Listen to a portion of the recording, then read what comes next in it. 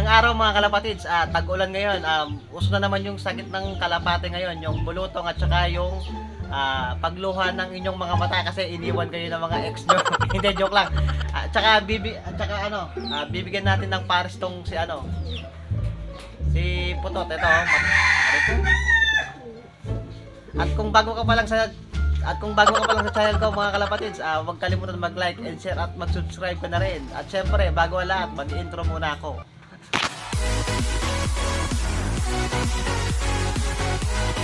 Nga mga kalapatids, ah, bibigyan natin ng bagong pares itong si Putot. At yung dating pares ni Putot naman ay pinagpalit natin. Siya ngayon yung ah, ipapares natin dito kay Putot. Pero bago ko ipapakita yung bagong pares nitong kalapating to, ah, ah, may papakita muna ako. Nagkasipon kasi yung isang kalapati ko dito. Ito, ito kukunin ko.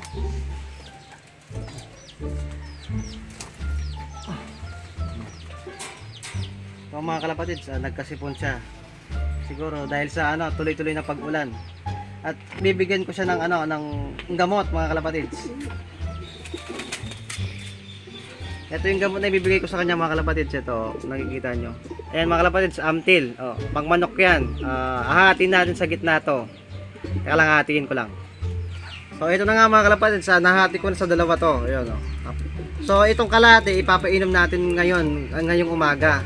Tapos yung kalahati naman, ah, papainom natin sa sa hapon.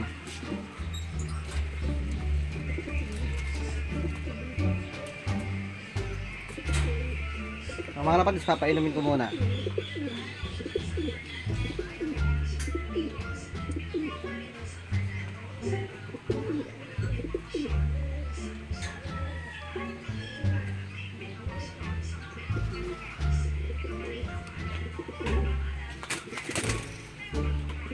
Tapos na naman sa mga kalapatids, ah, may bulutong to, yan oh. Isang nating yambird. So papainumin ay papakainin ko lang ng ano to paminta.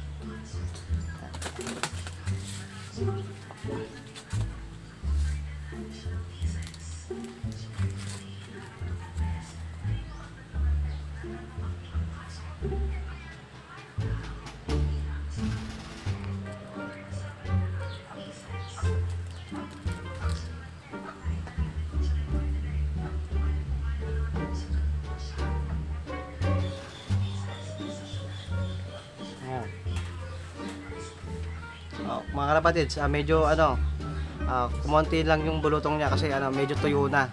Ayan oh. Teka lang, ibabalik ko muna. A few moments later.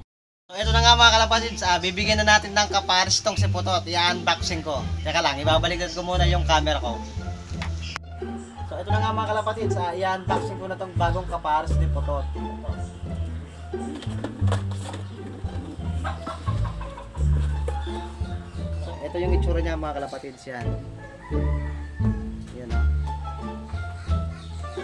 Yellow check siya mga kalapatids.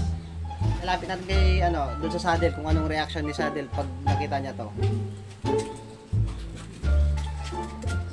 Dalawa din sa binabara na niya oh.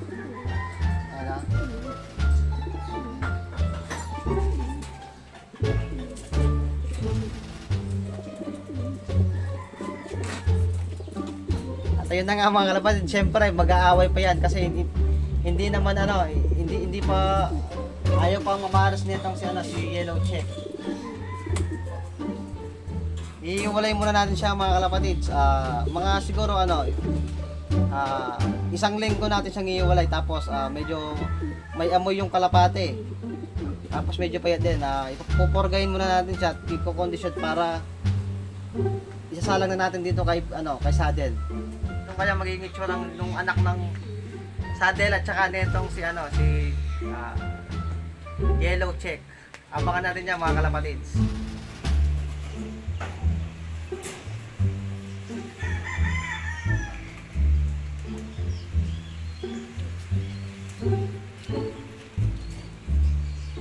One eternity later. Yun mga kalapatids, habang kumakain yung mga ibon natin, ah, dito ko natatapos itong video to. At kung nagustuhan nyo man to, ah, huwag kalimutan mag-like and share at mag-subs- at mag-subscribe na rin kayo at para updated kayo sa mga darating kong video.